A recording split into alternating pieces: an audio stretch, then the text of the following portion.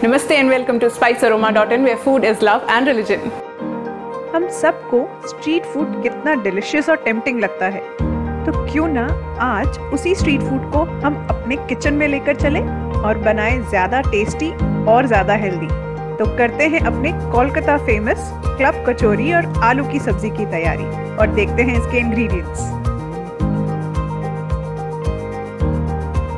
Club कचौरी बनाने के लिए हमें चाहिए आटा दो कप, मैदा दो कप, मोटी सूजी तीन चौथाई कप, उड़द दाल का आटा एक कप, मोयन के लिए तेल तीन से चार टेबल स्पून लाल मिर्च पाउडर एक टेबल स्पून कलौजी हाफ़ टी स्पून सौंफ पाउडर एक टेबल स्पून हींग एक चौथाई टी स्पून गरम मसाला एक टीस्पून तलने के लिए तेल, नमक स्वाद अनुसार।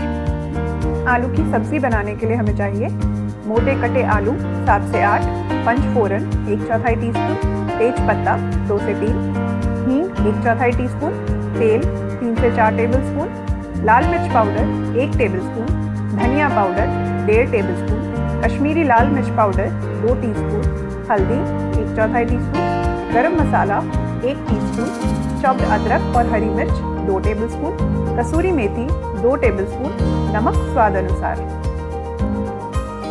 सबसे पहले हम अपनी कचौरी की आटे की तैयारी करेंगे तो उसके लिए एक बड़े से बाउल के अंदर हम डालेंगे मैदा।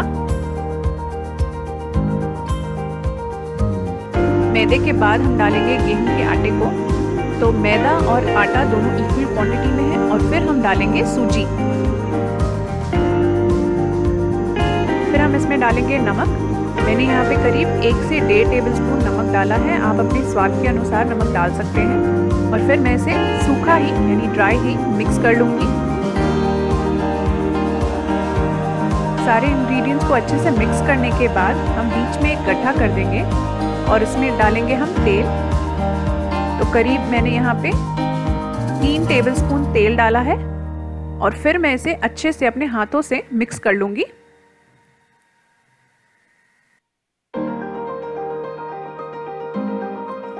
आटे को तेल के साथ अच्छे से मिक्स करने के बाद हम अपने हथेलियों के बीच में इसे दबा कर देखेंगे। अगर ये डो फॉर्म हो रहा है तो तेल परफेक्ट क्वांटिटी में है। अगर नहीं तो आप एक टेबलस्पून तेल और डालकर इसे मिक्स कर लें। अब हम इसमें धीरे धीरे करके पानी डालेंगे और आटा तैयार कर लेंगे। तो हमें इसे ना ज़्यादा कड़ा और ना ही ज़्यादा सॉफ्ट आटा लगाना है। हम जैसे अपने घर में पूड़ियों का आटा लगाते हैं जो हल्का कड़ा रहता है, उस टाइप में इसका आटा तैयार कर लेंगे हम।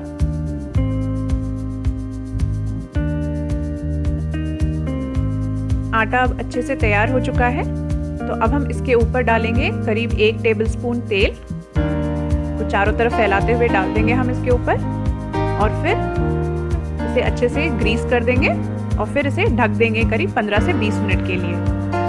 अपने क्लब कचौरी की फिलिंग को बनाने के लिए अब हम एक बाउल के अंदर डालेंगे उड़द दाल का आटा। उसके अंदर अब हम डालेंगे नमक। यहाँ पे करीब डेढ़ टी स्पून नमक डाला है मैंने। आप अपने स्वाद के अनुसार नमक डाल सकते हैं। फिर हम इसमें डालेंगे कलौंजी। लाल मिर्च पाउडर। सौंफ पाउडर।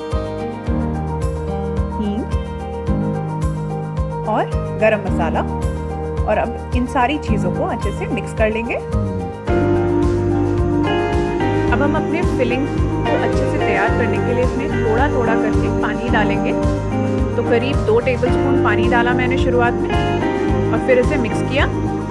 फिर मैं थोड़ा पानी दूँगी और मिक्स करूँगी। तो धीरे धीरे करके मैं थोड़ा थोड़ा पानी डालती जाऊँगी इसके अंदर और एक टाइट डो तैयार कर लूँगी इसका। ये देखिए, ये हल्का टाइट होने आ गया है। तो अब मैं इसमें करीब तीन से चार टेबलस्पून पानी डाल रही हूँ। और फिर इसे अच्छे से आटे की तरह कड़ा, उसान लूँगी, यानी लगा लूँगी। और ये कड़ा रहेगा तो आपको थोड़ी मेहनत करनी पड़ेगी इसके लिए। लेकिन पानी आपको कम क्वांटिटी में ही डालना है इसके अंदर। और आटा लगा लेना है, कड़ा आटा। तरह से ये डो तैयार हो गया हमारा फिलिंग का। और अब हम इसे ढककर साइड में रख देंगे और अपनी आलू की सब्ज़ी की तैयारी में लग जाएँगे।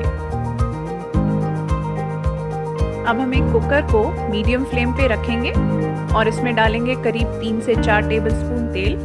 और फिर जब तेल गर्म हो जाए, तब हम इसमें डालेंगे पंचफोरन पंचफोरन के बाद हम डालेंगे तेज पत्ते तेल के अंदर।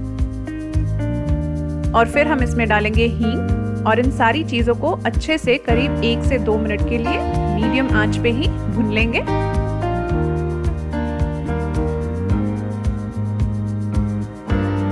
इन सारी चीज़ों को अच्छे से भुनने के बाद हम इसमें डालेंगे चॉप की हुई अदरक और चॉप किए हुए हरी मिर्च। और इसे भी करीब एक मिनट तक हम लाल हो जाने तक भून लेंगे। इन सारी चीज़ों के भुन जाने के बाद हम करीब दो चार पीसेस या दो मुट्ठी करीब आलू चॉप किए हुए तेल के अंदर डाल देंगे और फिर हम इसे मिक्स कर देंगे तेल के साथ ताकि तेल हमारा थोड़ा ठंडा हो जाए और तेल के अंदर ही हम सारे मसाले डालेंगे। तो सबसे पहले मैं डाल रही हूँ धनिया पाउडर। फिर मैं इसमें डालूँगी गरम मसाला, हल्दी पाउडर। लाल मिर्च पाउडर।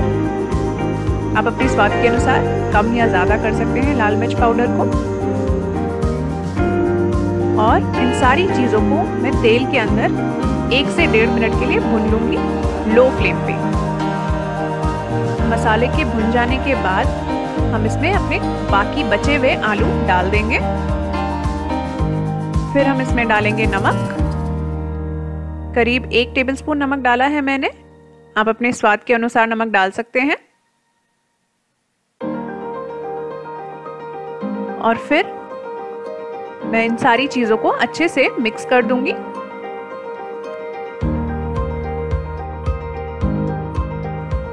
मिक्स करने के बाद मैं इसमें डालूँगी पानी। तो यहाँ पे करीब मैं 250 सौ से 300 सौ पानी डाल रही हूँ। आपको इतना पानी डालना है कि आपके आलू अच्छे से डूब जाए कुकर के अंदर। और इतना ज़्यादा नहीं रखना है आपको पानी, जैसा कि आप देख सकते हैं कुकर के अंदर। पानी डालने के बाद मैं इसमें कश्मीरी लाल मिर्च पाउडर डाल दूँगी। और फिर इसे सारे चीज़ों को, सारे इंग्रेडिएंट्स को अच्छे से मिक्स कर दूँगी। और फिर मैं कुकर का ढक्कन लगा दूँगी। तो हमें एक सीटी हाई फ्लेम पे लगानी होगी और एक सीटी लो फ्लेम पे लगानी है। उसके बाद हम गैस को ऑफ़ कर देंगे। कुकर में जब दो सीटी लग जाए तो हम गैस को ऑफ़ करके उसका प्रेशर रिलीज़ होने देंगे।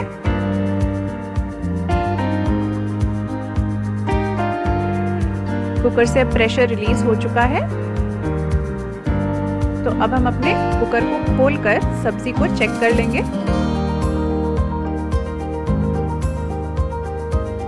मैं यहाँ पे एक आलू को साइड में निकाल कर चेक करूँगी कि हमारी सब्ज़ी अच्छे से पकी है कि नहीं। तो मैं इसे चम्मच से फोड़ कर देख लूँगी। हमारे आलू एकदम परफेक्टली पक चुके हैं। अब हम अपने आलू की सब्ज़ी में कुछ आलूओं को इस तरह से चम्मच से दबाकर फोड़ लेंगे ताकि हमारी ग्रेवी जो है वो थोड़ी सी थिक हो जाए और वापस से इसे मिक्स कर देंगे। अब हम अपने हाथों के बीच में कसूरी मेथी को रख कर इस तरह से क्रश करके सब्ज़ी में डाल देंगे। और अब हम गैस को लो फ्लेम पे ऑन कर देंगे और सब्ज़ी को अच्छे से मिक्स कर देंगे। और करीब एक कप पानी मैंने इसमें और डाला है ताकि हमारी ग्रेवी थोड़ी पतली हो जाए। और अब हम इसे लो फ्लेम पे ही करीब पाँच मिनट तक बॉईल होने देंगे ताकि सारे फ्लेवर्स आलू के अंदर अच्छे से चले जाएँ।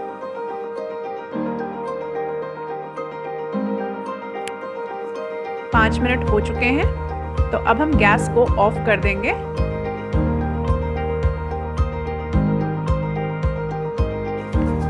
और अब हम अपने आटे को एक बार स्मूथ करने के लिए अपने हाथों से इस तरह से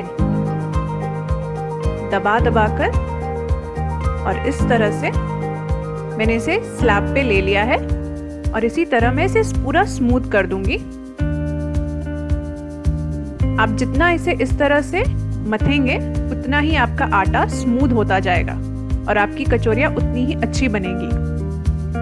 तो इस तरह से मैं स्मूथ करते जा रही हूँ अपने हाथों से और चारों तरफ़ से इसे घुमाती जा रही हूँ ताकि ये हर एक डायरेक्शन में उतना ही स्मूथ हो और उतना ही सॉफ्ट बने। हमारी कचौरियाँ।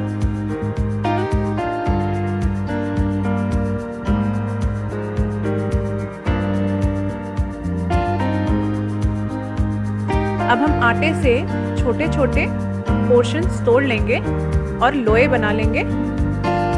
तो उसे हाथों के बीच में इस तरह स्मूथ करते हुए छोटे छोटे लोए बना लूँगी मैं। और जितना हथेली का सेंटर कवर हो जाए, उतना बड़ा मैंने लोया रखा है। और इसी तरह मैं दूसरे लोहे को भी तैयार करके साइड में रख लूँगी। अब हम अपने फिलिंग की भी इस तरह से छोटी छोटी गोलियाँ बनाकर रख लेंगे। तो ये जो गोलियाँ मैंने बनाई हैं मार्बल साइज़ की हैं, यानी कांच की गोलियाँ जितनी बड़ी हैं ये, इसी तरह मैं बाकी गोलियों को भी तैयार करके रख लूँगी। अब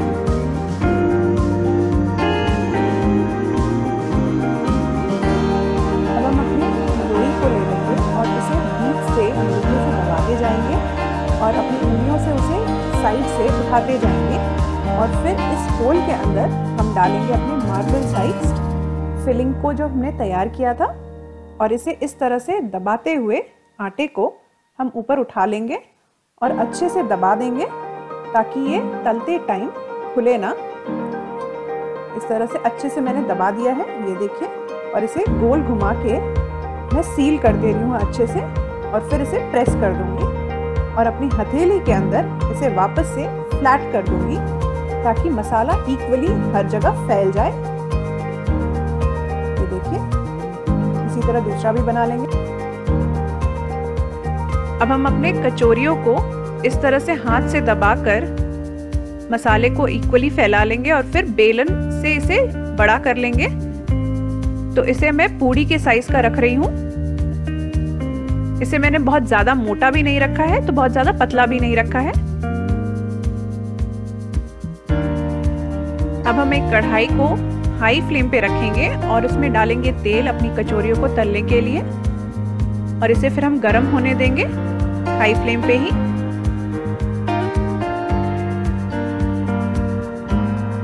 अब तेल जैसे ही गरम हो जाता है, हम अपने कचोरियों को डाल देंगे।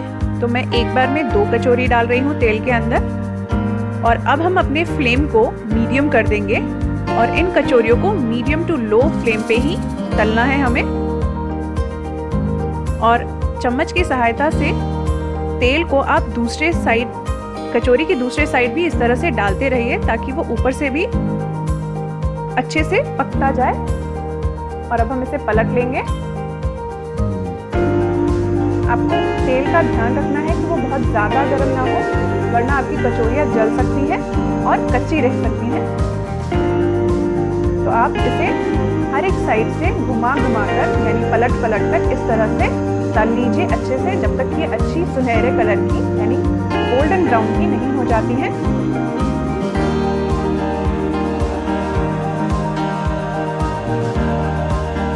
और अब हमारी कचौरियाँ एकदम फ्राई होके गोल्डन ब्राउन कलर की हो चुकी हैं। तो अब हम इसे एक प्लेट में निकाल लेंगे और बाकी कचौरियों को तेल के अंदर डाल देंगे।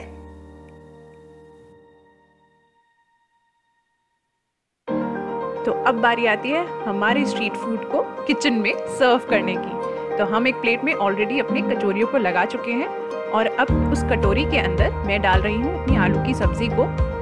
और इसको देख के आपका मन नहीं ललच रहा है? मेरा तो बिल्कुल ललचा रहा है कि मैं इसे अभी खा लूँ। तो आप भी इसे इस संडे ज़रूर ट्राई कीजिए और हम इंतज़ार करेंगे आपके फीडबैक का। और हमारे अगले रेसिपी तक खाइए, खिलाइए, खुशियाँ बांटिए।